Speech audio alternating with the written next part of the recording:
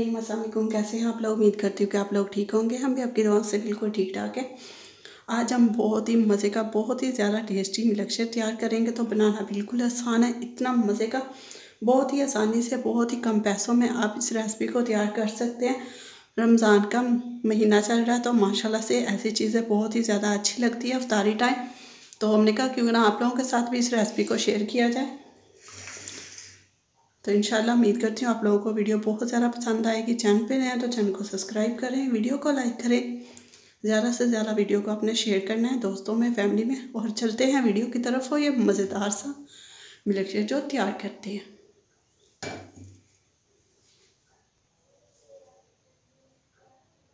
हाँ जी, पहले जो हमारे पास केले पड़े हैं, हमने इनके छिलके उतार लेने हैं। तो आज हम बहुत ही मज़े का मिल्क तैयार करेंगे तो बहुत ही मज़े का और बहुत ही ताकतवर है। तो इसके मैं फ़ायदे आप लोगों को बताने बैठ जाऊँ तो बहुत ही ज़्यादा लंबी वीडियो हो जाएगी।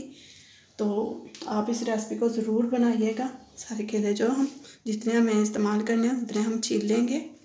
इन सब का हमने छिलका उतार लेना है। तो हाँ जी, छिलके हमने इनके उतार, इनको हम साइड पे करेंगे। कुछ हमने लिया खजूर। इसकी हम जो गुटली है, वो निकाल लेंगे।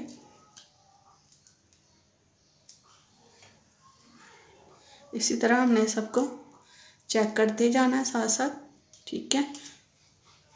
बिल्कुल ठीक है ये। तो हाँ जी, साथ हमारे पास दूध है, ठीक है? और ये चीज़ें जो है, इनको हम ऐड कर लेंगे। केले जो हमने छोटे छोटे उनके जो पीस है, वो कर लेने हैं।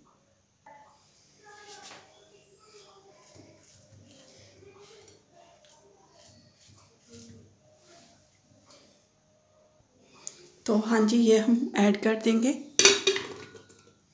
इसे हम साइड पे करेंगे। कुछ है मेरे पास चने बुने हुए, उनको भी हमने ऐड कर देना।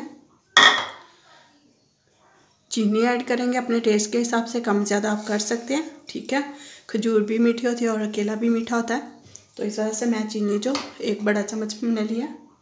साथ है हमारे पास है ये दूध, इसे ऐड कर देंगे। तो अब हम इसे तैयार करते हैं। तो हाँ जी, उम्मीद करती हूँ कि आप लोगों को ये वीडियो पसंद आई होगी। वीडियो पसंद आए तो ज़्यादा से ज़्यादा दोस्तों में, फैमिली में शेयर कीजिएगा। तो इसके साथ ही इजाज़त चाहती हूँ। अपना ख्याल रखिएगा दुआ में मुझे याद रखिएगा। अल्लाह हाफिज़, बाय।